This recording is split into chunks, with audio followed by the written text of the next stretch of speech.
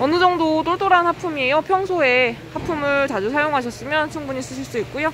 알은 작은 편이고 색상은 보통 정도이거나 좀 탁한 것도 섞여 있어요. 키는 50에서 55cm 정도 되고요. 배는 약한데 휘청거리지는 않고 어느 정도 힘은 있어요. 잎사귀 백수 있는 부분 보이고요.